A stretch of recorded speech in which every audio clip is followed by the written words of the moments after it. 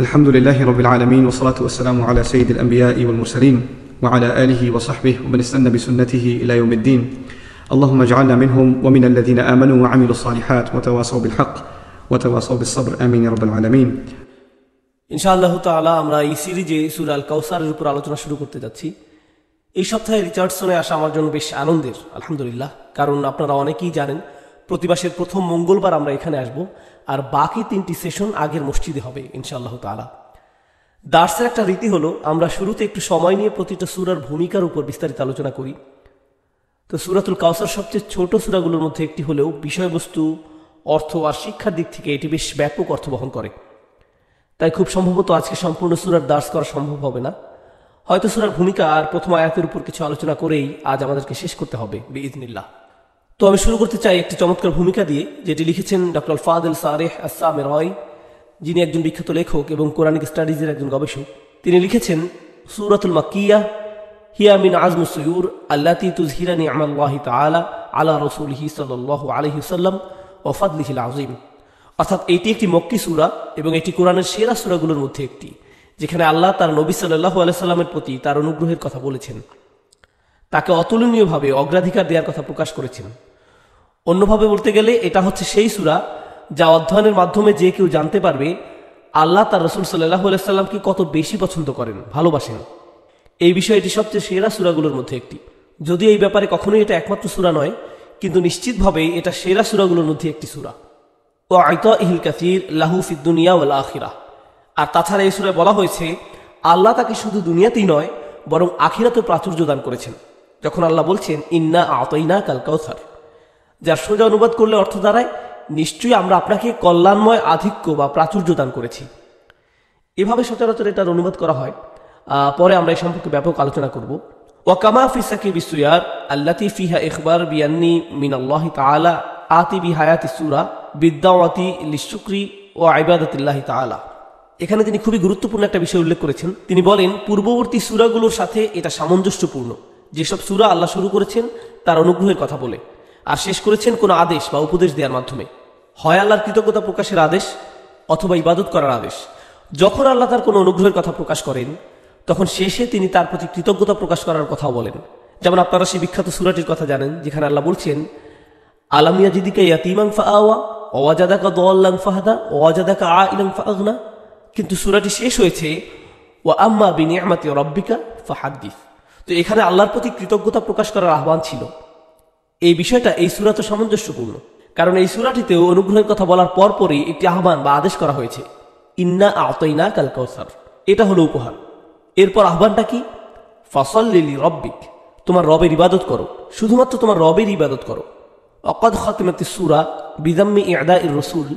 আর এই সুরাটি শেষ হয়েছে রসুল সাল্লাহ সাল্লামের শত্রুদের নিন্দা করার মাধ্যমে। অবায়ানি আন্নাহুম হুমুল মকতুনা মিন কুল্লি খয়রিন ফিদ দুনিয়া ওয়াল আখিরা আর এখানে বর্ণনা করা হচ্ছে যে এরা হচ্ছে তারাই যারা দুনিয়া ও আখিরাতের সমস্ত কল্যাণ থেকে বঞ্চিত হবে। তিনি এখানে কোন আয়াতের কথা বলেছেন? ইন্না শানি আকা হুয়াল আবতার। তিনি এই আয়াত সম্পর্কে কথাগুলো বলেছেন। আম্মার রসুল সাল্লাহ আলহি আসাল্লাম ফকাদ আল্লাহ তালা জাকারাহু ও আতাহু ফিদ দুনিয়া ওয়াল আখিরা। রসুল সাল্লাহ আলাইসাল্লাম যার সম্পর্কে বলা হচ্ছে, আল্লাহ তাকে এই পৃথিবীতেও সম্মানিত করেছেন এবং আখিরাতেও তাকে সম্মান দান করেছেন। অমাহু আহলুল্লাহু ইলা জামান আকা হুয়াল আবতার। অর্থাৎ তিনি যা কিছুর যোগ্য, তাকে তাই দেয়া হয়েছে। আর তাই আল্লাহ রসুল সাল্লাহ সাল্লামের শত্রুদের সম্পর্কে বলেছেন, ইন্না শানি আকা হুয়াল আবতার। বিআন্না আল আবতার আল মকতু মিন কুল্লি খৈর। এই আয়াতে আবতার অর্থ হলো এমন ব্যক্তি যে সকল কল্যাণ থেকে বঞ্চিত। এই মানুষটির কাছে ভালো কোনো কিছু অবশিষ্ট নেই। ইনশাল্লাহ আমরা যখন এই আয়াতটি সম্পর্কে বিস্তারিত আলোচনা করব তখন বুঝতে পারব কেন এই ভাষাটি এত শক্তিশালী। আপনারা জানেন, বাতার বাতার আর বাতির শব্দগুলো একে অপর থেকে ভিন্ন। একই উৎপত্তি স্থল থেকে উৎপন্ন, কিন্তু ভিন্ন ভিন্ন শব্দ এগুলো। সরফের ভাষায় একে বলা হয় আবদালুত তফদিল আবদার শব্দটি একটি বেশ জোরালো টাইপের বিশেষ্য। এই শব্দটি ব্যবহার করার পেছনে কারণও রয়েছে। যখন আমরা আয়াত সম্পর্কে আলোচনা করব, তখন এই ব্যাপারে বিস্তারিত জানব ইনশাল্লাহ কোরআনের সুরাগুলোর মধ্যে সমন্বয় বোঝার জন্য আমরা পূর্ববর্তী সুরার সাথে পরবর্তী সুরার তুলনা করে থাকি। এই বিষয়ে, এই সুরার ক্ষেত্রে আমরা কিছু মন্তব্য জানব। শুরুতে আমরা ফখরুদ্দিন আল রাজি রহমাহুল্লার মন্তব্যে চলে যাই। ফিসুরাতিল মুকদ্দিমা ওয়াসাফ আল্লাহ তালা আল মুনাফিক বি উমুরিন আর বাহ আল মুনাফিক বি উমুরিন আর বাহ তিনি বলেছেন, পূর্বের সুরায়, পূর্বের সুরা কোনটি? সুরাতুল মাউন। সুরাতুল মাউনে আল্লাহ আজ্লাহ মুনাফিকদের চারটি আচরণের কথা বলেছেন। সুরা মাউন সম্পর্কে আমরা যা কিছু জেনেছি, তার মধ্যে আমরা মুনাফিকি আচরণ সম্পর্কে পড়েছিলাম। ইমাম রাজি বলেছেন, সুরা মাউনের চারটি মৌলিক মুনাফিকে আচরণের বর্ণনা দেয়া হয়েছে। আউ্বালুহা প্রথমটি হল আল বুখল ওয়াহুয়াল মুরাদ মিন কৌলহি ইয়াদু ইয়াতিম ওলা ইয়াহুদ্দ আলা তো আমিল মিসকিন। অর্থাৎ প্রথম বৈশিষ্ট্য হচ্ছে কৃপণতা, লোভ করা। এত বেশি লোভ হওয়া যে তারা ইয়াতিমকে ধাক্কা দিয়ে বের করে দেয় এবং মিসকিনকে খাবার দিতে বলতেও চায় না। এই কথাগুলো আমরা আগের তাফসিরে বলেছি। খেয়াল করুন, আল্লাহ বলেননি যে সে মিসকিনকে খাবার দেয় না। ওলা ইউকে এমন মিসকিন, তিনি এভাবে বলেননি। তিনি বলছেন ওলা ইয়াহুদ্দু আলা তো আমিল মিসকিন। এই দুইটি কথার পার্থক্য আছে।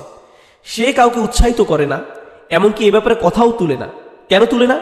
কারণ সে নিজে ধনী হয়ে যদি মিসকিনকে খাবার দেওয়ার কথা তুলে বা মানুষকে উৎসাহিত করে, তাহলে মানুষ প্রথমে তাকে প্রশ্ন করবে, তুমি নিজে কি করেছ? এজন্য সে ভাবে, আমি যদি নিজে কিছু না বলি, কেউ আমাকে কিছু বলতেও পারবে না। তাই সে এই বিষয়ে কোনো কথাই বলতে চায় না। আর এটাই হলো কৃপণতার সর্বোচ্চ ধরন। সে তার চারপাশে দারিদ্রতা দেখবে, অথচ সে একটি ভালো সামাজিক অবস্থানে থাকবে। কারণ এর আগের সুরাটি কুরাইশ নেতাদের উদ্দেশ্য করে নাজিল হয়েছে। তারা ভালো সামাজিক অবস্থানে থেকেও কিছু বলে না। যেহেতু এটা তাদেরকে উল্টো সমাজের কাছে ছোট করে। মানুষ তাদেরকে বলবে, তুমি এসব বলছো? তাহলে তুমি কেন নিজেই শুরু করছ না? তোমারই তো সবার আগে করা উচিত। যাই হোক, মুনাফিকের প্রথম আচরণ হলো আল বুখল এবার দ্বিতীয়টায় আসি। ওয়াসানি তার কুসালা ওয়াহুয়াল মুরাদ মিন কৌলিহি আর দ্বিতীয়টি হলো নামাজে উদাসীনতা। কথাটা পূর্বের সুরের কোন আয়াতে এসেছে? আল্লাহ দিনাহুম আনসলাতিহিম সাহুন। এই আয়াতে আল্লাহ আজ্লাহ দ্বিতীয় আচরণটি উল্লেখ করেছেন। সাহুয়া শব্দের শাব্দিক অর্থ হলো কোনো বিষয়কে কম গুরুত্বপূর্ণ মনে করে ভুলে যাওয়া। তো তারা নামাজের চেয়ে অন্য কিছুকে বেশি গুরুত্ব দিয়ে নামাজের প্রতি উদাসীন থেকেছে। আল্লাহ আজ্লাহ বলেননি আল্লাহ দিনাহুম আং সলাতিহিম তারিকুন। তিনি বলেননি তারিকুন, তিনি বলেছেন সাহুন। আবার বলছি সাহওয়া মানে তারা এই ব্যাপারে সতর্ক নয়, যেন এটা তাদের জন্য এমন কোনো বড় বিষয় নয়। লা ইউবালি আমসল্লা আমলাম ইউসল্লি। অর্থাৎ নামাজ পড়লে বা না পড়লে তার কিছু যায় আসে না। এটা তার কাছে কোনো বিষয়ই না। গত সপ্তাহের ব্যাখ্যায় আমরা আরও বলেছিলাম যে তারা নামাজের সময় একেবারে শেষ হয়ে আসলে তড়িঘড়ি করে নামাজ পড়ে। অথবা এভাবে যদি নামাজটা মিসও হয়ে যায়, সমস্যা নেই। এমন একটা মনোভাব নিয়ে চলে। আল্লাহ আজ্লাহ আমাদেরকে এমন মনোভাব থেকে রক্ষা করুন। ওয়াসালিসুল মুরাদ ফি সালাতি ওয়াল মুরাদ বিন কৌলিহি আর তৃতীয় আচরণ হলো, এখানে আচরণগুলোর ধাপগুলো মনে রাখবেন। প্রথমটি ছিল সংকীর্ণতা বা কৃপণতা। দ্বিতীয়টি ছিল নামাজের প্রতি উদাসীনতা বা অবহেলা। আর এখন তৃতীয় আচরণ হলো লোক দেখানো নামাজ পড়া। কোন আয়াতে বলেছেন এই কথা? আল্লাদিনা হুম রাউন এটা হলো মুনাফিকির তৃতীয় আচরণ। অর্থাৎ তারা নামাজ পড়ে, তারা আল্লাহর জন্য পড়ে না, মানুষকে দেখানোর জন্য পড়ে। ও রবিউল মানাউ জাকাত আহুয়াল মুরাদ মিন কৌলিহি অর্থাৎ চতুর্থ আচরণ হলো একেবারে ন্যূনতম বা সর্বনিম্ন দান করা থেকে বিরত থাকা। মজার ব্যাপার হলো, প্রাথমিক ইসলামিক গবেষণায় স্কলারগণ সাদাকা শব্দটি ব্যবহার করতেন না। তারা জাকাত শব্দটি ব্যবহার করতেন। এর মাধ্যমে তারা শরীর জাকাত মানে আড়াই পার্সেন্টের কথা বোঝাতেন না, বরং তারা জাকাত বলতে একেবারে সর্বনিম্ন বা ন্যূনতম দানের কথা বলতেন। যতটুকু দান না করলে মানুষের পাপ হবে, একেবারে সর্বনিম্ন দান। তাহলে এখানে কোন আয়াতের কথা বলা হচ্ছে? এমনকি তারা ন্যূনতম জিনিস দান করতে চায় না। এটা হলো ওয়াম নাউনা আল মাউন এই আয়াতের মাধ্যমে মুনাফিকের শেষ আচরণের কথা বলা হচ্ছে যে তারা ন্যূনতম আবশ্যকীয় জিনিসও দান করতে আগ্রহী নয়। শাব্দিকভাবে মাউন শব্দের অর্থ হলো ওই সব জিনিস যা আপনি কাউকে দিতে কখনো না করেন না। এর মানে টাকা বা প্রয়োজনীয় সম্পদ নয়। বরং এর মানে হলো আশাই লাইমনা মিনহু। এমন জিনিস যা কাউকে দিতে আপনি নিষেধ করেন না। কেউ আপনার কাছে এক গ্লাস পানি চাইলে। আপনি তাকে তা দিতে এতটা কার্পণ্য নিশ্চয়ই করবেন না। আপনি নিশ্চয়ই তার কাছ থেকে সেটা সরিয়ে ফেলবেন না। অথচ তারা এমনটা করে। এটা কিন্তু দিনের অংশ ছিল না। ইসলামের পূর্বেও মাউন বলতে এমনটাই বোঝানো হতো। আপনি মানুষকে সামান্য কিছু দেয়া থেকে বিরত থাকতে পারেন না। অথচ তারা এমনটা করে। এই চারটি আচরণ। এখন আসুন আমরা দেখি কীভাবে পূর্বের সুরায় বর্ণিত এই চারটি আচরণ এই সুরার বিষয়বস্তুর সাথে সমন্বিত করা হয়েছে। জাকারা ফি হাদিহি সুরা ফি মুকাবালাতি তিলকা সিফাত আল আরবা সিফাতিল আরবা তিনি বলছেন, পূর্বের সুরায় বর্ণিত চারটি বিষয়ের বিপরীতে আল্লাহ আজ্লাহ এই সুরায় আরও চারটি বৈশিষ্ট্যের কথা বলেছেন। আসুন দেখি সেই বৈশিষ্ট্যগুলো কি কি। ফাজাকারা ফি মোকাবালাতিল বুখল সংকীর্ণতা বা কৃপণতার বিপরীতে আল্লাহ ইসুরা কি বলেছেন? ইন্না আতইনা কাল কাউসার। আমরা আপনাকে কল্যাণময় প্রাচুর্য দান করেছি। তাহলে কৃপণতার বিপরীত হলো দান করা। কে দান করেছেন এখানে? আল্লাহ আজরাজ আল্লাহ তিনি আরও বলেন ফাআতি আংতাল কাসির ওয়ালা তাবখাল। মানে তিনি বলছেন, আল্লাহ যেহেতু অনেক বেশি দান করেছেন, আমাদের এটা খুবই স্বাভাবিক যে আমাদেরও বেশি বেশি দান করা উচিত।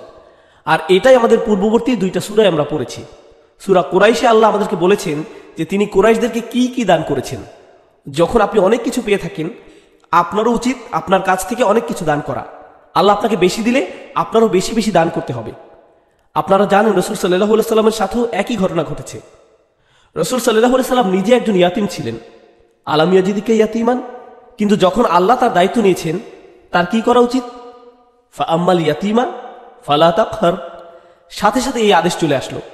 যে আপনার উপর অনুগ্রহ করা হয়েছে, তাই আপনিও তাদের প্রতি দায়িত্ববান হন। সুরা কোরাইশে আল্লাহ কোরাইশদেরকে তার পক্ষ থেকে অনুগ্রহের কথা বলেছেন। তাহলে তাদের কি করতে হবে? তাদের অন্যদেরকে দান করতে হবে। কারণ আল্লাহ তাদের নিরাপত্তার দায়িত্ব নিয়েছেন। শীতেও তাদের খাবারের নিরাপত্তা দিয়েছেন। তারা পরিপূর্ণ নিরাপদ। তাদের খাবারের সম্পূর্ণ যোগান দেওয়া হয়েছে। আল্লাদি আত আমাহুম মিংজুর আল্লাহ তাদের প্রচুর খাবার দিয়েছেন। এমত অবস্থায় তাদের দানশীল হওয়া উচিত। কিন্তু পরবর্তী সুর আমাদের কি বলছে? সুর মাউন, তারা দান করে না। তাদের যা দেয়া উচিত, তারা তা দেয় না।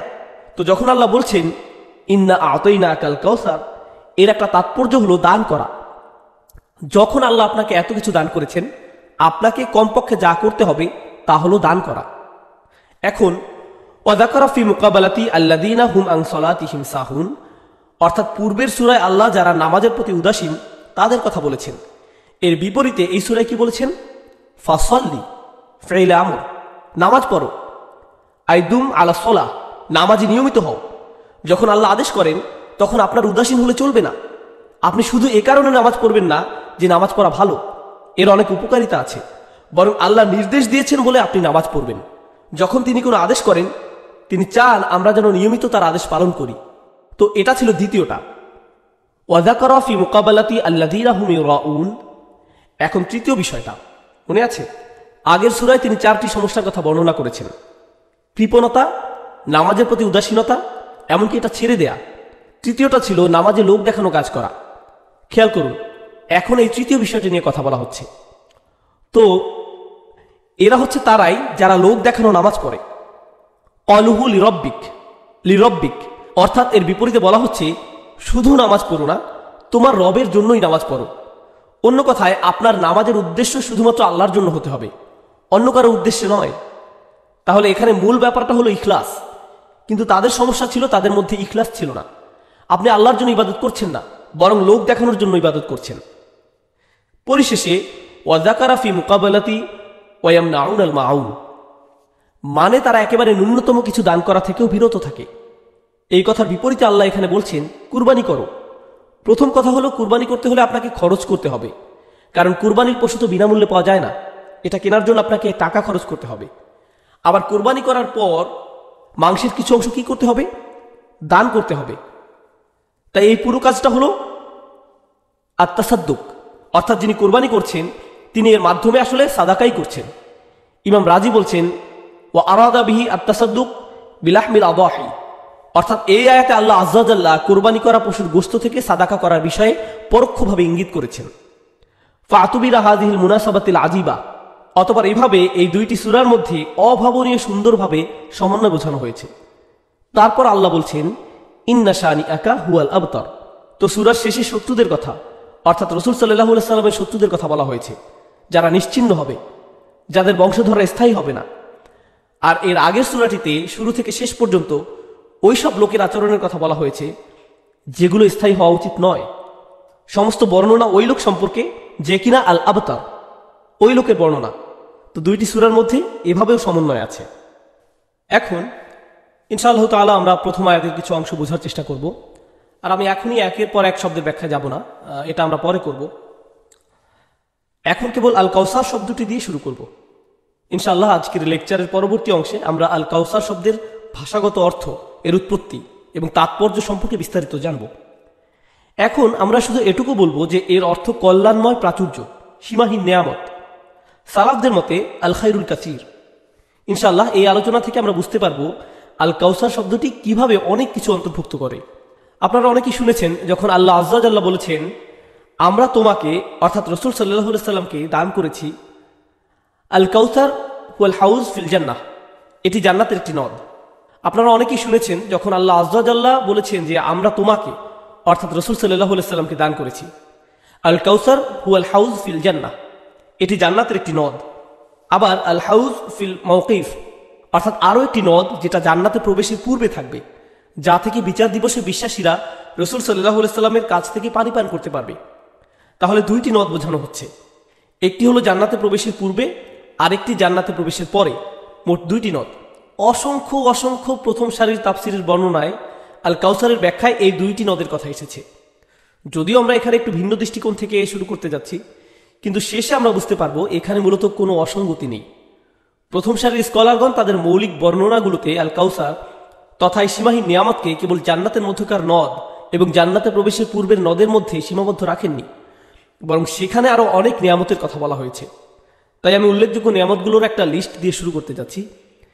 বিখ্যাত তাফসিরকারকদের একজন, ইমাম ফখরুদ্দিন আল রাজি তার ফাতহুল কাবির গ্রন্থে পূর্ববর্তী কয়েকটি সুরায় বর্ণিত রসুল সাল্লাহ সাল্লামের প্রতি আল্লাহর অনুগ্রহের একটি তালিকা তৈরি করেছেন। তিনি এগুলোর একটা লিস্ট করেছেন। এখানে আমি এই লিস্ট থেকে কিছু অংশ আপনাদের সাথে শেয়ার করব, যাতে আপনারা বুঝতে পারেন আগের আলমগণ কত গভীরভাবে উপলব্ধি করে কোরআন অধ্যয়ন করতেন। শুরু করা যাক। ইমাম রাজি বলছেন, প্রথমে আল্লাহ বলেন, মা আওয়াদ্দা আকার অব্বুকা ও মা কলা আল্লাহ আজ্লাহ তার নবী সাল্লাহ সাল্লামকে বলছেন, তিনি তাকে পরিত্যাগ করেননি। তিনি তাকে বিদায় জানাননি। তাও দিয়া আমরা বলি না? উইদা আল উইদা এটা আরবি শব্দ। তো তিনি আপনাকে ছেড়ে যাননি এবং তিনি অসন্তুষ্টও নন। এই আয়াতটি রসুল সাল্লাহ সাল্লামের জন্য একটি উপহার। আরবি ভাষ্যটা এমন হবার কথা ছিল, মা ওয়াদ্দা আকা রব্বুকা ওমা কলা কা। কাপ সর্বনামটি দুইবার আসার কথা। যার অর্থ হতো আপনার রব আপনাকে ছেড়ে দেননি এবং তিনি আপনার উপর অসন্তুষ্টও নন। কিন্তু ছেড়ে দেয়া বা বিদায় দেয়া কথাটার সাথে নবী সাল্লাহ সাল্লামকে সম্বোধন করা হয়েছে। কিন্তু অসন্তুষ্টি কথার সাথে তার নাম যুক্ত করা হয়নি। এটা আল্লাহর একটা উপহার তার রসুল সাল্লাহ সাল্লামের জন্য। তার প্রতি অসীম ভালোবাসা থেকে আল্লাহ এমনটা করেছেন।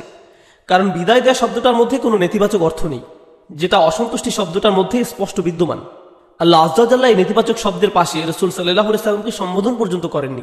সুতরাং এই আয়াতটি রসুল সাল্লাহ জন্য একটি উপহার। এর মূল কথা হলো, আল্লাহ তার রসুল সাল্লাহ সাল্লামকে কখনো পরিত্যাগ করবেন না। এরপর তিনি বলছেন, ওয়ালাল আখিরতু খৈরুল্লাহ কামিনাল উলা। রসুল সাল্লাহ প্রতি আরেকটা অনুগ্রহ।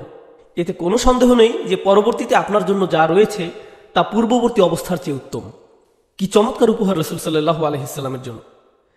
তারপর সর্বোপরি বলা হচ্ছে, ওয়ালা সৌফিকা রব্বুকা ফাতার আপনারা জানেন এই সুরাতেও আল্লাহ বলছেন, ইন্না আতাইনা আকা আমরা আপনাকে দিয়েছি। তিনি কি দিয়েছেন বলেছেন? আল কাউসার কিন্তু এর আগে কি বলেছিলেন? ওয়ালা সৌফিকা রব্বুকা তিনি এখানে আল কাউসার বলেননি। তিনি বলেছেন যে, নিশ্চয়ই আপনার রব আপনাকে শীঘ্রই অনেক বেশি কিছু দিবেন। আপনাকে প্রচুর দিবেন। ফাতার দ তিনি আপনাকে কত বেশি দিবেন? সেটা পরিমাণ আপনি কীভাবে বুঝবেন? ধরুন, আপনি কাউকে উপহার দেবেন। তাকে বললেন, আমি তোমাকে কিছু উপহার দিতে চাই। তুমি আমাকে কি দিবে? কতটুকু দিবে? এটার দাম কত? তাই না? তো কীভাবে আপনি এটা মূল্যায়ন করবেন? আল্লাহ আজ্লাহ তার রসুল সাল্লাহ আলাইস্লামের জন্য এসবের একটা মাপকাঠি দিয়েছেন। তিনি বলছেন ফাতার দ আমি আপনাকে এত বেশি দিব যে আপনি খুশি হয়ে যাবেন, আনন্দিত হবেন। এই পরিমাণটি এমনভাবে বর্ণনা করা হয়েছে, অর্থাৎ আল্লাহর দেয়া শেষ হবে না। যতক্ষণ পর্যন্ত না, আপনি বলছেন, ঠিক আছে, আমি খুশি। আর উম্মতের জন্য আল্লাহর নবী সাল্লু আলাইস্লামের ভালোবাসা দেখুন। আমি ততক্ষণ পর্যন্ত তৃপ্ত হব না, যতক্ষণ না আমার সকল উম্মত জাহান্নাম থেকে মুক্তি পায়। এটা আমাদের প্রতি তার গভীর ভালোবাসা। এরপর আল কাউসারের অংশ হিসেবে আল্লাহ আজ্লাহর পক্ষ থেকে আরও একটা অনুগ্রহ হলো, আলাম ইয়াজিদিকা ইয়াতিম ফাওয়া আমরা আগেও এই আয়াতটির কথা বলেছি। তিনি কি আপনাকে ইয়াতিম অবস্থায় পাননি? আর আপনাকে আশ্রয় দেননি? ওয়াজাদাকা দোয়াল্লাং ফাহাদা। গত কয়েক মাস আগে আমরা পড়েছিলাম, এই আয়াতের দোয়াল্লা শব্দটির অর্থ পথহারা বা পথভ্রষ্ট নয়। এর মানে সন্ধান করা বা খোঁজ করা। এমন একজন যিনি পথ খোঁজার খুব চেষ্টা করছেন, কিন্তু খুঁজে পাচ্ছেন না। আল্লাহ আপনাকে এমন অবস্থায় পেয়েছেন যখন আপনি সঠিক পথের সন্ধানে ব্যাকুল ছিলেন এবং তিনি আপনাকে সঠিক পথ দেখিয়েছেন। এর চেয়ে বড় অনুগ্রহ আর কি হতে পারে?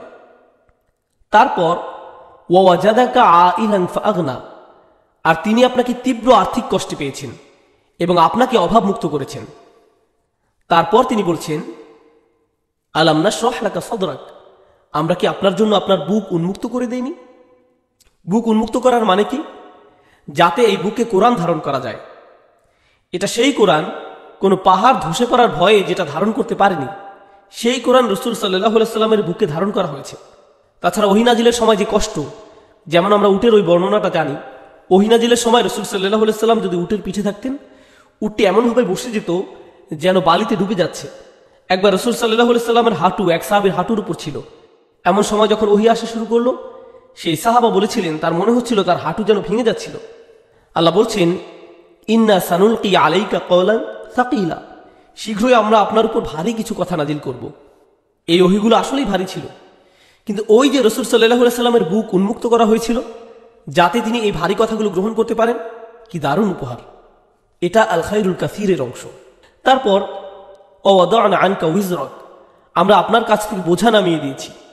আল্লাহ দি আল্লাহরক যে বোঝা আপনার পিঠ ভেঙে দিচ্ছিল।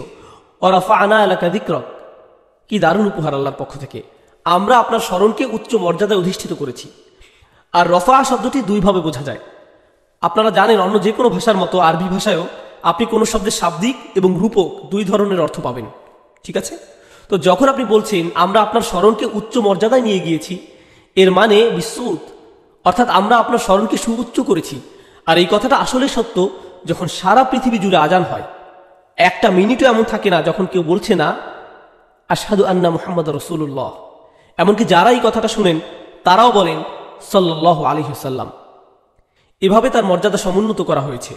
এমনভাবে প্রতিনিয়ত অবিরাম তার স্মরণকে সমুন্নত করা হয়েছে। যেভাবে আর কাউকে, আর কোনো মানুষকে স্মরণ করা হয় না। সময়ের সাথে সাথে তার স্মরণ কমে যাওয়ার পরিবর্তে আরও বেড়ে যায়। এটা বেড়ে যায়, কমে না। আল্লাহ আল্লাহ বলছেন ওরাফা আনা এলাকা দিক্রক ওরাফা আনা এলাকা দিক্রক আপনার নাম উচ্চারণ করা, ঠিক না?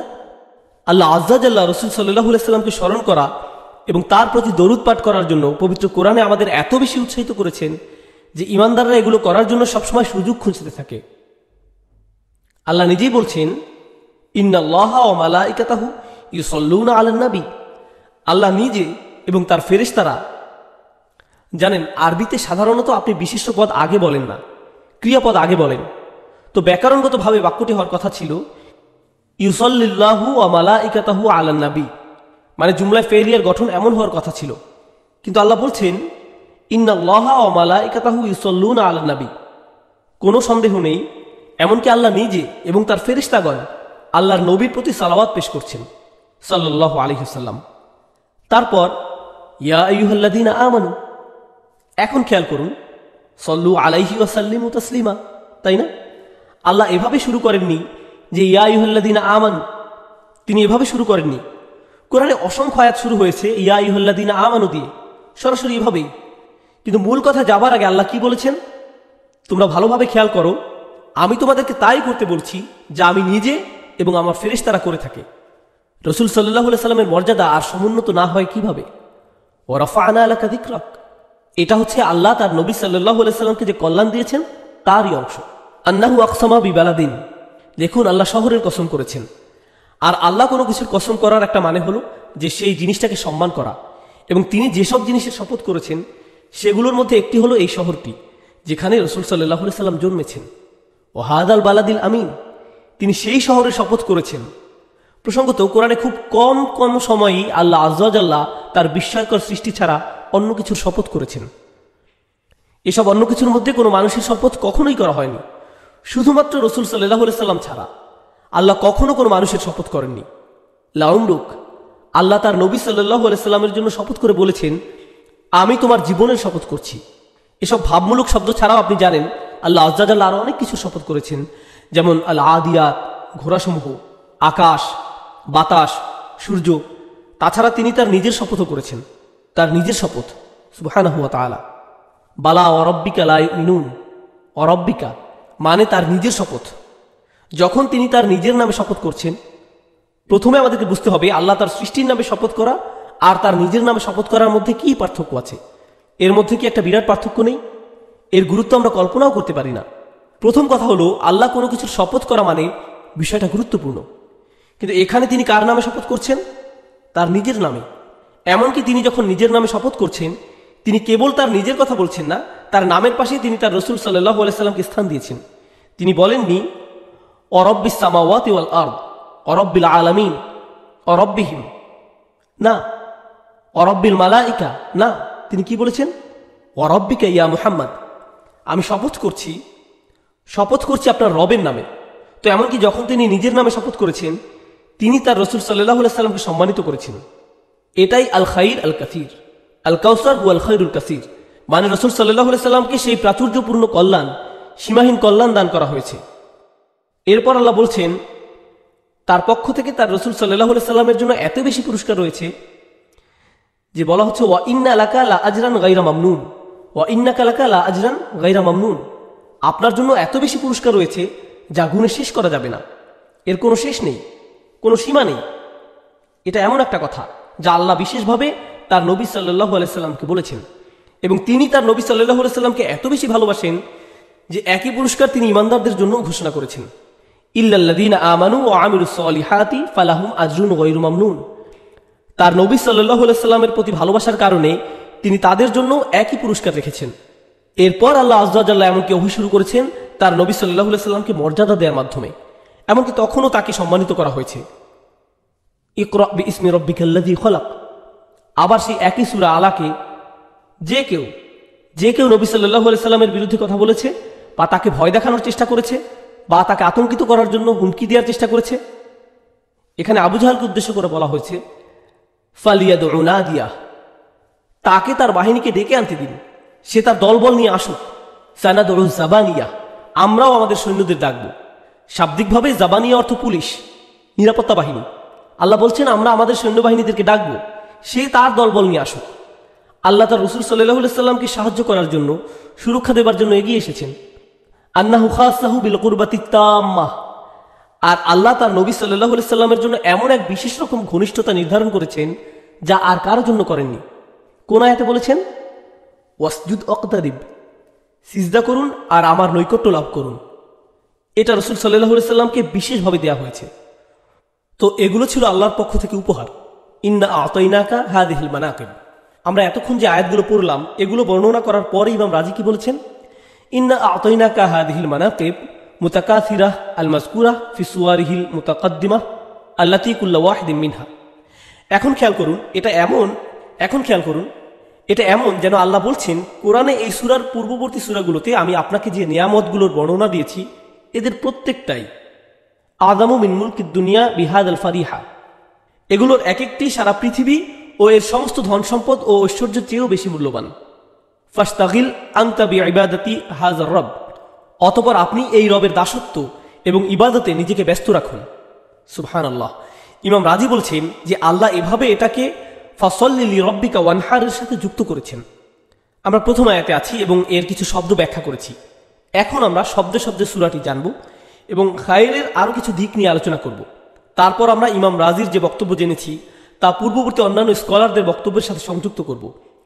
ইন্না আতইনা কাল কাউসার আত ইয়তি ইয়াতা আন এই সুরার প্রথম ক্রিয়াপদ ইয়াতা আরবিতে আরও একটা শব্দ আছে, আতা। মানে কোনো কিছু দেয়া। আর এটা হচ্ছে ইয়াতা। এটাও কোনো কিছু দেয়া বোঝায়।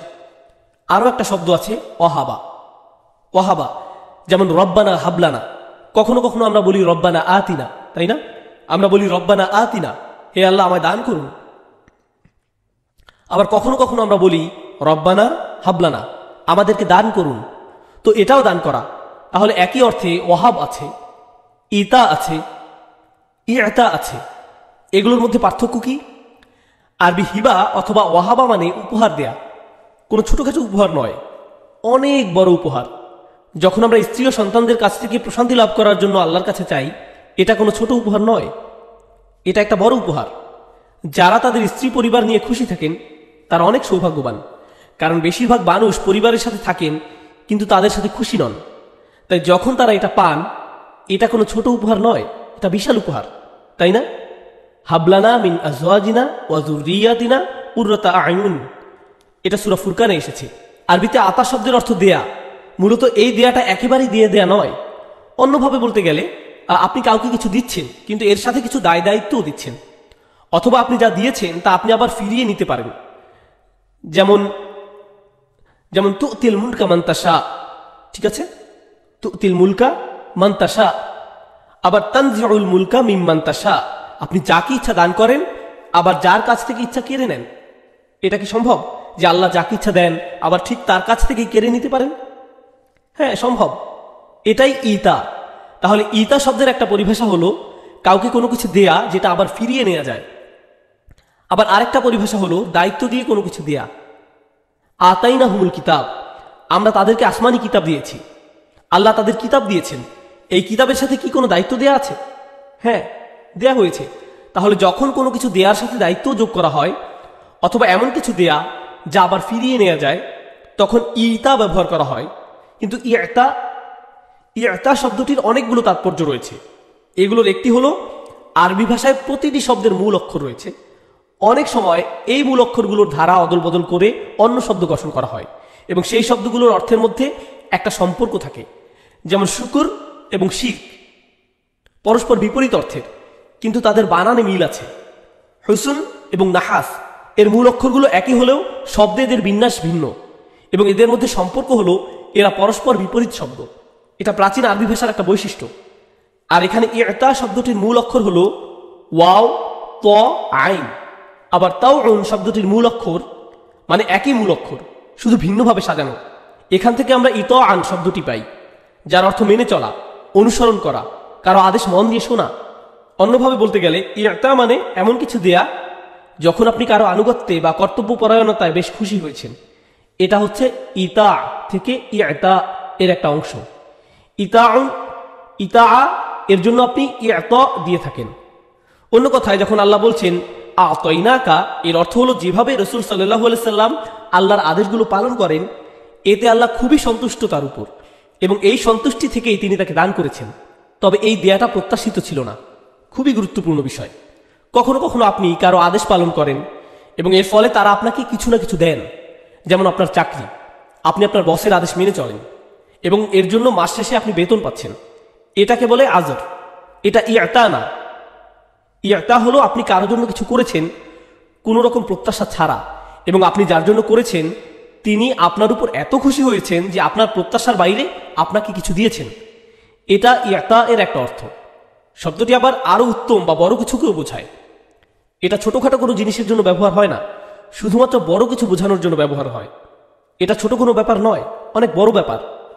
পরিশেষে ইয়াতা শব্দের মাধ্যমে এমন অনুগ্রহকে বোঝায় যার কোনো তুলনা হয় না এবং এটা এমন কিছু যা ফিরিয়ে নেওয়া হয় না এবং এর সাথে অন্য কোনো শর্ত বা কর্তব্য জুড়ে দেওয়া হয় না। মোট কথা, একবার আপনাকে দেয়া হয়েছে মানে এটা উপভোগ করুন। উপভোগ করুন। এটা আপনাকে উপভোগের জন্যই দেয়া হয়েছে। এবং এর সাথে অন্য কোনো কর্তব্য জুড়ে দেওয়া হয়নি। তো যখন আল্লাহ আজরাজ আল্লাহ বলছেন, আল কাউসার, এই উপহারগুলো উপভোগ করুন। এগুলো আপনার জন্য সাল্লাহ আলহিসাল্লাম যা আমি ফিরিয়ে নেব না। তাহলে এগুলো ছিল ইয়াতা এর অর্থ। এখন আমরা যদি শব্দটির ক্রিয়ার কাল সম্পর্কে চিন্তা করি আ তয়না আল্লাহ বলেননি, ইন্না সানুয়াতি যেমন অন্য আয়াতে আমরা পেয়েছি, ইন্না সানুলকি আলাইকা কৌলান সাকিলা। সানুলকি, এটা ভবিষ্যৎকাল নির্দেশক বর্তমান। যেটা ভবিষ্যৎকাল বোঝায়। আমরা শীঘ্রই আপনাকে দান করব। কিন্তু এখানে তিনি বলেছেন, ইন্না আতইনা, কোনো সন্দেহ নেই, আমরা ইতিমধ্যে আপনাকে দিয়েছি, অতীতকাল। এখন প্রাচীন আরবি বা কোরআনের আরবি ভাষার বা তৎকালীন আরবি ভাষার অতীতকাল আর ইংরেজি বা স্প্যানিশ বা জার্মান ভাষার অতীতকাল সম্পর্কে আমাদের ধারণা ভিন্ন। এদের মধ্যে পার্থক্য রয়েছে। এই পার্থক্যগুলো নিয়ে এখন একটু বলি। আপনারা নিশ্চয়ই অতীত এবং বর্তমান কালের পার্থক্য জানেন। তাহলে কেন আল্লাহ অতীতকাল ব্যবহার করেছেন, যেখানে কিছু জিনিস এখনও নবী সাল্লাহ সাল্লামকে দেওয়া হয়নি? যেমন আল হাউদ ফিল জান্না যদিও নবী সাল্লাহ সাল্লাম এটি হাদিসে বলেছেন আল্লাহুল্লা আংজুর ইলাইহা। আমি আমি আল্লাহর নামে শপথ করে বলছি, আমি এটা দেখতে পাই। আল্লাহর নামে শপথ করে বলছি, আমি এটা দেখি। তিনি এই কথা তার সাহাবিদেরকে বলেছেন রাদি আল্লাহ আনহুমুল আজমাইন যদিও আমরা এই বর্ণনাটা পেয়েছি, তারপরও এই যে হাউজে কাউসারের কথা, এটা ভবিষ্যতের একটা বিষয়। তাহলে ভবিষ্যতের কিছু বলতে কেন অতীতকাল ব্যবহার করা হয়েছে? এটা একটা যৌক্তিক প্রশ্ন। যখন প্রাচীন আরবরা কথা বলতো, জানেন, ক্রিয়ার কাল সম্পর্কে তাদের নির্দিষ্ট একটা মতবাদ ছিল। অতীতকাল হলো নিশ্চিত। গতকাল যা ঘটেছিল, সেটা নিশ্চয়ই ঘটেছিল। কিন্তু আগামীকালের কোনো কিছুর নিশ্চয়তা নেই, ঠিক না? তাই নিশ্চয়তা অতীতকালের সাথে সম্পৃক্ত। আর অনিশ্চয়তা ভবিষ্যতের সাথে। আর আপনি যদি ভবিষ্যতের কোনো কথা বলতে চান, যেটা একেবারেই নিশ্চিত যাতে কোনো সন্দেহ নেই, যা হবেই হবে, এরকম কোনো কিছু যার ব্যাপারে আপনি একেবারেই নিশ্চিত, তখন আপনি অতীতকাল ব্যবহার করে কথাটা বলবেন, কারণ অতীতকাল দ্বারা কোনো কিছু নিশ্চিত বোঝায়। এটা যেন গতকাল যেমন ঘটেছে, তেমনি অবশ্যম্ভাবী ঠিক গতকালের মতো সুনিশ্চিত, ঠিক আছে? আপনারা একটা ইংরেজি প্রবাদের কথা নিশ্চয়ই জানেন, যে আগামীকাল সূর্য ওঠার মতো নিশ্চিত। যদিও ইসলামে আমরা এমনটা বলি না, কারণ আগামীকাল সূর্য ওঠার ব্যাপারে আমরা নিশ্চিত নই। কিন্তু অতীতকালের সাথে নিশ্চয়তার একটা সম্পর্ক আছে। তো এটা আতইনা এর এক প্রকার শৈল্পিক তাৎপর্য। আল্লাহ নিশ্চয়তা দিচ্ছেন। ইংরেজিতে একটা কথা আছে যেটা এই বিষয়টার সাথে মিলে যায়। যেমন তারা বলে, ডান, তোমার সাথে আমার আগামী সপ্তাহে দেখা হবে। আর উত্তরে আপনি বলছেন, ডান, দেখা এখনও হয়ে যায়নি, আগামী সপ্তাহে হবে। আর আপনি বলছেন, ডান, মানসিকভাবে আপনি এতটাই নিশ্চিত দেখা হওয়ার ব্যাপারে যেন কাজটা হয়ে গিয়েছে। চিন্তা করো না, কাজটা হয়ে গেছে। যদিও কাজটি এখনও শেষ হয়ে যায়নি। আপনি এই ব্যাপারে নিশ্চিত বলে এমনটা বলছেন। তো এটা ছিল প্রথম শৈল্পিক তাৎপর্য। অতীতকাল ব্যবহার করার দ্বিতীয় শৈল্পিক তাৎপর্য হলো, এর মাধ্যমে কাজের পরিপূর্ণতা বোঝায়। অন্যভাবে বলতে গেলে, আরবিতে বর্তমান কাল দ্বারা এমন কাজকে বোঝায় যা এখনও শেষ হয়নি। যেমন আমি যদি বলি আতা আল্লামুল আরবিয়া, আমি আরবি শিখি। এর দ্বারা কি বোঝায়? আমার শেখা এখনও শেষ হয়নি। এখনও শেষ হয়নি। এটা এখনও চলছে। কিন্তু আমি যদি বলি, আমি আরবি শিখেছি জানেন এর মাধ্যমে কি বোঝায়? কাজটি শেষ হয়েছে, পরিপূর্ণ হয়েছে। আর আল্লাহ এখানে বোঝাতে চাইছেন যে আল্লাহর অনুগ্রহ যেমন নিশ্চিত, তেমনি আল্লাহর অনুগ্রহ পরিপূর্ণ। তার অনুগ্রহ পরিপূর্ণ। এটা পরিবর্তন হবার নয়। আল্লাহ আজাদ আল্লাহ ইন্না আতইনাকা শব্দে যে ক্রিয়ার কাল ব্যবহার করেছেন, তাতে এই দুইটি অর্থই নিহিত রয়েছে। এখন আমরা কাউসার শব্দে আসি। রূপগতভাবে বা সার্ফ অনুযায়ী শব্দটি আরবি ফওয়াল এর অন্তর্ভুক্ত। ফওয়ালের একটি সিয়াগ বা এরূপ গঠনের শব্দগুলো ব্যবহার করা হয় অতুক্তি করার জন্য। আরবিতে যাকে সিগাতুল মুবালাগা বলা হয়, মুবালাগা। আমি জানি এর আগে অন্য লেকচারে আমি এই ব্যাপারে কথা বলেছি, কিন্তু আজকে নতুন কোনো শ্রোতা থাকলে যেন বুঝতে পারেন, তাই আবার আলোচনা করছি। অতুক্তি কি, সেটা আমাদের জানতে হবে। আমি জানি আপনাদের অনেকের কাছে বিষয়টা পরিষ্কার নয়, আমি ব্যাখ্যা করছি। অতুক্তি করে কথা বলা আর অতিরঞ্জিত করে কথা বলার মধ্যে পার্থক্য আছে। অতুক্তি আর অতিরঞ্জনের মধ্যে পার্থক্য আছে। অতুক্তি করা মানে কোনো কিছু খুব জোর দিয়ে বলা। আর অতিরঞ্জিত করা হলো সত্যের বাইরে গিয়ে মিথ্যায় প্রবেশ করা। তাহলে অতিরঞ্জিত করা মানে আপনি সত্য কথা না বলা। কিন্তু অত্যুক্তি করা হলো, আপনি অনেকটা আবেগপ্রবণ হয়েছেন, কিন্তু মাত্রা ছাড়িয়ে যাননি। অর্থাৎ আপনি সত্য ছেড়ে মিথ্যা বলেননি। একটা উদাহরণ দিই। ধরুন দুইটা বাচ্চা পার্কিংয়ে ঝগড়া করছে। কোনো একটা বাচ্চা এসে বলবে, পার্কিংয়ে খুব খারাপভাবে ঝগড়া হচ্ছে। ঠিক আছে? এটাই অত্যুক্তি। কারণ এটা সত্য। যদিও সে আবেগতাড়িত হয়ে একটু বাড়তি কথা বলেছে, কিন্তু সে বোঝাতে চেয়েছে যে এটা একটা বড় সমস্যা। যদিও এটা সত্য। অপরদিকে আরেকটা বাচ্চা এসে বলবে ও মাই গড তাদের একজনকে হাসপাতালে নেওয়া হচ্ছে, এটা হচ্ছে, সেটা হচ্ছে। এবং এভাবে সে বলেই যাচ্ছে তো বলেই যাচ্ছে। আমরা এ ধরনের কথাগুলোকে পাত্তা দেই না। আমরা কিছুই করি না, কারণ হাসপাতালে যাওয়ার মতো কিছু হয়নি। তাহলে এটাই হলো অতিরঞ্জিত করা। কোরআনে কি নেই? কোনো অতিরঞ্জন নেই। কিন্তু অসংখ্য কি আছে? অতুক্তি আছে। সেখানে অসংখ্য মুবালাগা, অসংখ্য অতুক্তি আছে, কিন্তু কোনো অতিরঞ্জন নেই। কারণ কোরআন হলো অলুহুল হাক, তার কথাগুলো সত্য। এটা সত্য। তাই কোরআনে অতিরঞ্জনের মতো কিছু নেই। কখনো কখনো ভাষার প্রতি সংবেদনশীলতার অভাবে একজন আলোচক বা অনুবাদক বলতে পারেন যে এখানে অতিরঞ্জিত করে বলা হয়েছে, অতিরঞ্জন করা হয়েছে। মূলত এগুলো অতিরঞ্জন নয়। অতুক্তি কোনো শব্দকে জোর দিয়ে বলতে বা এর অর্থকে শক্তিশালী করতে যা করা হয়। যাই হোক কাউসার শব্দটি কাসির বা আল কাসরাহ থেকে এসেছে। কাসরা মানে অনেক বেশি পরিমাণে থাকা, আর কাসির শব্দটি বিশেষণ। আর আল কাউসার হলো এমন পরিমাণের কোনো কিছু যা অকল্পনীয়, অবিশ্বাস্য। যখন কোনো কিছু অনেক অনেক অনেক অনেক বেশি, তখন আপনি তাকে কাসির বলেন না। আপনি বলেন কাউসার। আল্লাহ বলছেন, আমি আপনাকে দিয়েছি এত এত এত বেশি, আমি বলে শেষ করতে পারছি না, কারণ এটা কাউসার। কাউসার শব্দে একটা ওয়াও আছে। আরবি সাহিত্যে মানে বালাগায়ে, ওয়াও, ইয়া এর চেয়ে বেশি শক্তিশালী। যদি আল্লাহ বলতেন কাসির, সেটাও বেশি বোঝাতো, কিন্তু আল্লাহ বলেছেন কাউসার, যেটা আরও আরও বেশি বুঝায়। কাসির শব্দটি এমনিতেই বেশি বুঝায়, কিন্তু আল্লাহ এই বেশি শব্দটিকে আরও বেশি বানিয়ে দিয়েছেন কাউসার শব্দের ওয়াও এর মাধ্যমে। সুবহান আল্লাহ এভাবেই আল্লাহ তার রসুল সাল্লাহ সাল্লামকে কেমন দান করেছেন, তার বর্ণনা পাওয়া যায়। আবার আল খাইরুল কাসির, ফওয়াল মিনাল কাসরা একইভাবে আল কুর্তুবি লিখেছেন আর নাওফাল মিনাল নাফল। এমন আরও শব্দ আছে যা দ্বারা উত্তুক্তি করা হয়েছে। আল জাওহার মিনাল জাহার। আল আরব তুসাম্মিকুল্লা শাইইন কাসির ফিল আদাদ ওয়াল কাদার ওয়াল খিতার কৌসারা মানে আরবরা কাউসার বলতে কোনো কিছু খুব বেশি পরিমাণে, বেশি মূল্যবান এবং অনেক বেশি নিরাপত্তা এই ব্যাপারগুলো বোঝাতো। অর্থাৎ কোনো কিছু খুব বেশি পরিমাণ এবং বেশি মূল্যবান বোঝানোর জন্য এই শব্দটি ব্যবহার করত। ফাল কাউসার হুয়া বিল ইদাফাতি ইলাল কাসরা আল মুফাররাতা ফাহুয়া ফিল খৈরি খুসুসিন। এই কথাটাও খুবই গুরুত্বপূর্ণ। আপনি যখন কোনো কিছু সম্পর্কে বলেন অনেক বেশি, এরকম কি কোনো সম্ভাবনা আছে যে অনেক বেশি ভালো কিছু অথবা অনেক খারাপ কিছু অথবা অনেক ভালো আর খারাপ দুটোই হতে পারে? হ্যাঁ সম্ভব। আপনি যখন বলেন, আমি তোমাকে অনেক বেশি দিয়েছি বা আমি তোমাকে অনেক কিছু শিখিয়েছি। হয়তো আমি তোমাকে অনেক ভালো কিছু শিখিয়েছি, আবার সাথে কিছু মন্দ। কাসির শব্দটি ভালো এবং খারাপ দুটোর জন্যই ব্যবহৃত হয়। কিন্তু কাউসার শব্দটি শুধুমাত্র ভালো জিনিসের জন্যই ব্যবহৃত হয়। এটা মুতাখাসাস মানে বিশেষভাবে শুধুমাত্র ভালো জিনিসের ক্ষেত্রে ব্যবহৃত হয়। এর মাধ্যমে আয়াতটি পরিপূর্ণতা পেয়েছে, যেমনটি আল্লাহ বলছেন, ইন্না আতইনা কাল কাউসার। অর্থাৎ আল্লাহ তাকে যা কিছু দান করেছেন, তার সব কিছুই অবিশ্বাস্য রকমের ভালো এবং তিনি তাকে অধিক পরিমাণে দিয়েছেন সাল্লাহ আলাইসাল্লাম ও আইন্দামা ররিফ কাউসার বিত তারিফ এটাও বেশ গুরুত্বপূর্ণ।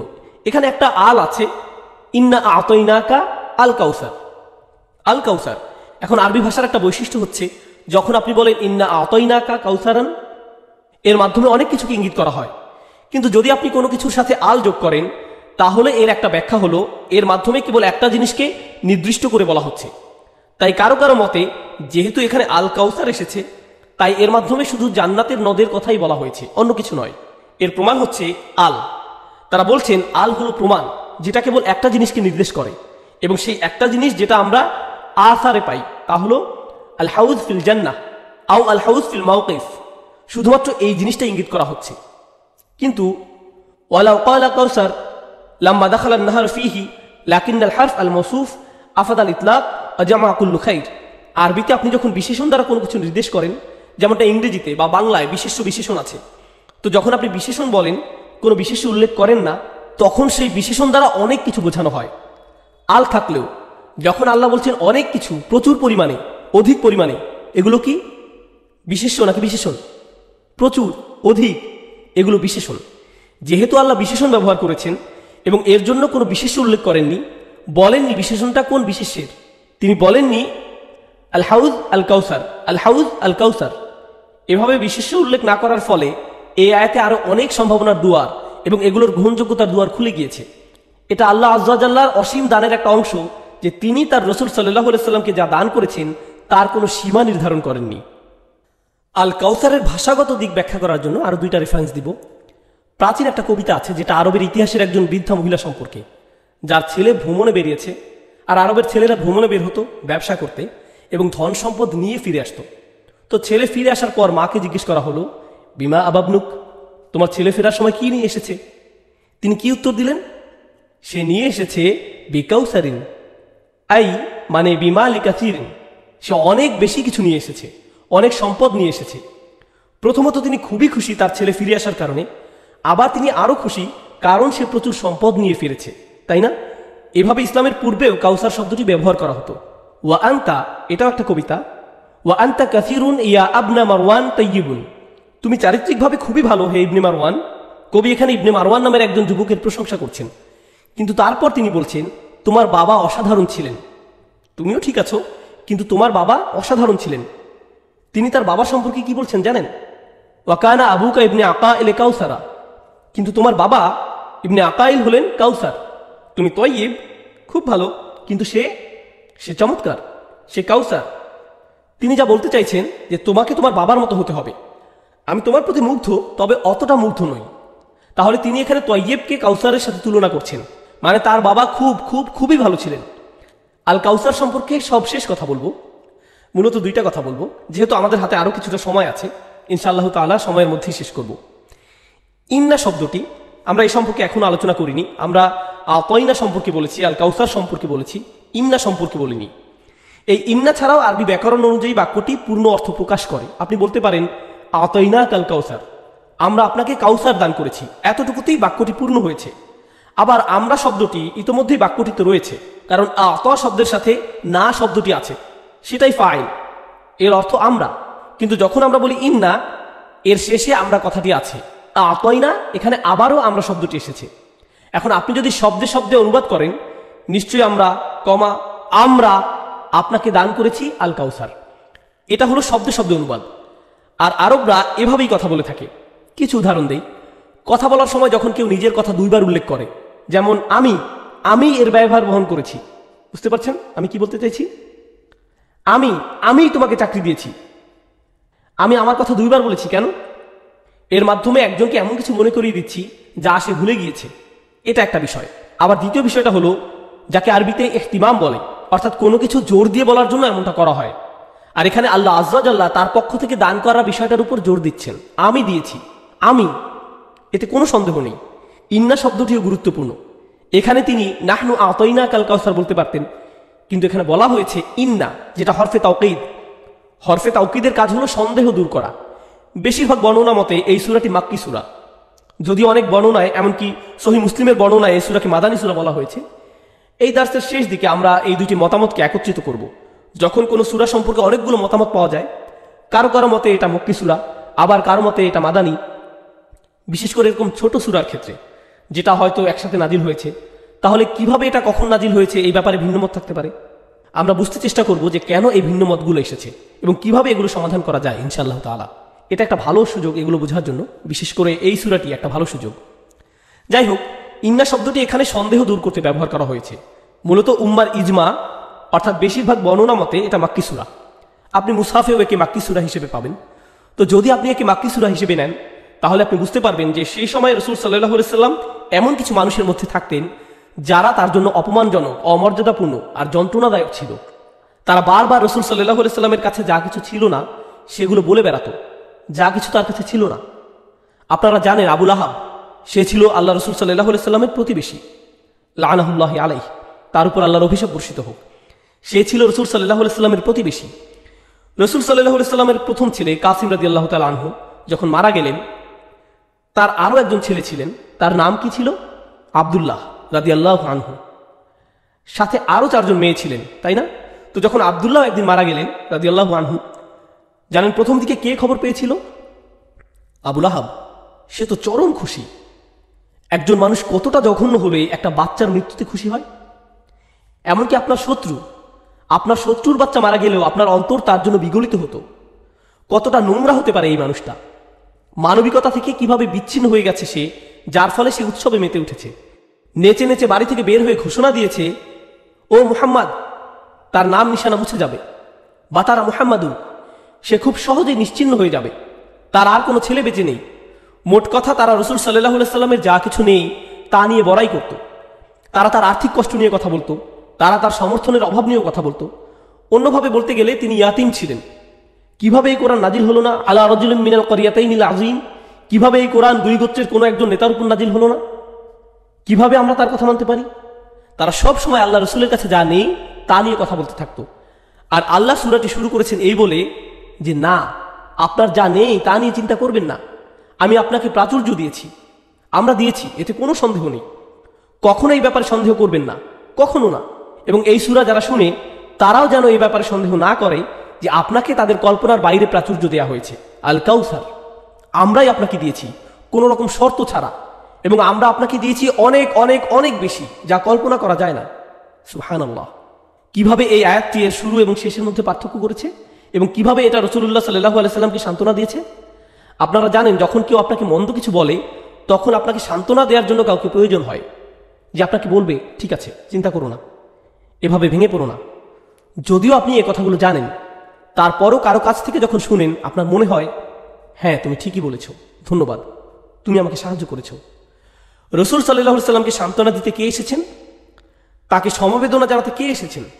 আল্লাহ এসেছেন। কোরআনে আল্লাহর পক্ষ থেকে রসুল সাল্লাহ সাল্লামের জন্য এটা একটা উপহার। তিনি তার রসুল সাল্লাহ সাল্লামকে সাহায্য করেছেন।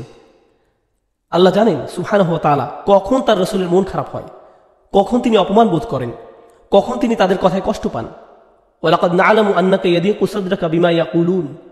আমরা জানি তারা যা বলে তাতে আপনার মন সংকুচিত হয়ে যায়। আপনাদের কি মনে হয় না? যখন তার ছেলে মারা গিয়েছে এবং কেউ সেই মৃত্যু উদযাপন করছে, তখন রসুল সাল্লাহ সাল্লামের অন্তর সংকুচিত হয়েছিল। কল্পনা করে দেখুন তো, তিনি আল্লাহ রসুল ছিলেন, সেটা না হয় একদিকে থাকল। যে কোনো সাধারণ মানুষ, আপনি দেখতে পাচ্ছেন আপনার বাচ্চার মৃত্যুকে উদযাপন করছে। কত রাগ, কত দুঃখ হবে আপনার।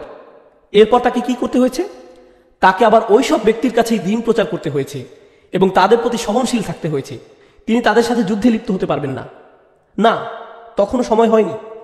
ধৈর্যের সাথে তাদের ডাকুন। ওয়াসবির আলামা ইয়াকুলুন, তারা যা বলে সেই ব্যাপারে ধৈর্য ধরুন। আমরা কত সহজে এই আয়াতগুলো উদাহরণ দিই। তারা যা বলে তাতে ধৈর্য ধরুন। মানে ধরুন, কেউ আপনাকে এমন উপদেশ দিয়েছে। তখন কি আপনার মাথা খারাপ হয়ে যাবে না? আপনার মেজাজ একেবারে খারাপ হয়ে যাবে। আপনি বলবেন তুমি কি জানো সে আমাকে কি বলেছে? আপনি অস্থির হয়ে যাবেন। আমি আপনাকে থামাতে চাইলে আপনি আবার বলবেন, তুমি জানো না সে কি বলেছে। অথচ এই মানুষটার সুন্নাহ দেখুন। সাল্লাহ আলহিসাল্লাম যাকে আমরা আমাদের রসুল বলি, ধৈর্যের কি চমৎকার আদর্শ আল্লাহ আমাদেরকে দিয়েছেন। এসব ঘৃণ্য লোকদের কাছে দাওয়াত পৌঁছানো কতটা কঠিন। এবং সর্বোপরি সেই লোকটা তার পরিবারের একজন। আর এখান থেকে আপনি আরেকটা শিক্ষা পাচ্ছেন। সেটা হলো সবচেয়ে দুঃখজনক কথাগুলো আপনি কার কাছ থেকে শুনবেন? আপনার পরিবার। আপনার নিজের পরিবার আপনাকে সবচেয়ে খারাপ কথাটা বলতে পারে। কারণ তারা মনে করে, কোনো সমস্যা নেই, সব ঠিক আছে। ঘরের মানুষ, অথবা তারা বলবে, কি হয়েছে তাতে? কি সমস্যা তোমার? তারা এভাবে বলতেই থাকবে বলতেই থাকবে। কারণ ঘরের ভেতর কোনো সমস্যা নেই, তাই না? বাইরের কেউ বললে হয়তো ঝগড়া লেগে যেত। কিন্তু আপনার ঘরে, আপনার চাচা সারাদিন বলতে থাকে। ঠিক যেমন রসুল সাল্লাহ সাল্লামের চাচার মতো। তার উপর আল্লাহর অভিশাপ বর্ষিত হোক। চলুন শেষ করা যাক। ইউজাদ আল আমরান আয়াতের ইন্না শব্দটিতে দুইটি ব্যাপার আছে। আল ইখতিসাস একান্তভাবে। মানে আমরাই, কেবল আমরাই আপনাকে আল কাউসার দান করেছি। যেহেতু আমরাই দিয়েছি, তাই কেবল আমরাই এটা ফিরিয়ে নিতে পারি। কিন্তু আমরা আপনাকে এ এতা দিয়েছি। ইতা নয়। তাই আমরা ফিরিয়ে নেব না, এবং অন্য কেউ তা ফিরিয়ে নিতে পারবে না। তারা মনে করে, তারা আপনার কাছ থেকে কিছু নিয়ে যাচ্ছে, অথচ তারা কিছুই পায় না। তারা কিছুই পায় না। ইন্না আঁকাই না কা এটাই আল ইখতেসাস দ্বিতীয়টা হলো, ফাল ইহতিমাম। আল্লাহ তার রসুল সাল্লাহ সাল্লামকে যা দান করেছেন, সেই ব্যাপারে জোর দেওয়াটাই আল ইহতিমাম। আহম্মদ শাই। তিনি এগুলো জোর দিয়ে বলেছেন, জোর দিয়েছেন। এই যে আল্লাহর পক্ষ থেকে দিয়েছেন কথাটা তাওকিদ, ইন্না দিয়ে শুরু হয়েছে। এর মাধ্যমে রসুল সাল্লাহ সাল্লামের প্রতি বিশেষ সম্মান দেওয়া হয়েছে। এখানে আমরা আয়াতের শুধুমাত্র ভাষাগত দিকটা দেখছি। প্রথম আয়াতে আল্লাহ তার রসুল সাল্লাহ সাল্লামকে যা দিয়েছেন, সে ব্যাপারে কত ব্যাপকভাবে বলেছেন। এই ব্যাপকতায় আমরা যেন হারিয়ে গিয়েছি। ইনশাআল্লাহ, বিরতি শেষে ঠিক এসব নামাজের পর আমি প্রথম সেশনের পরিসমাপ্তির চেষ্টা করব। যদিও আমি মনে করি না আজকে সুরা কাউসার শেষ করতে পারব। তবে আশা করি অন্তত প্রথম আয়াতের ব্যাখ্যা শেষ করতে পারব। কুরআনিল হাকিম আয়াতি ওয়া যিকরিল হাকিম। আসসালামু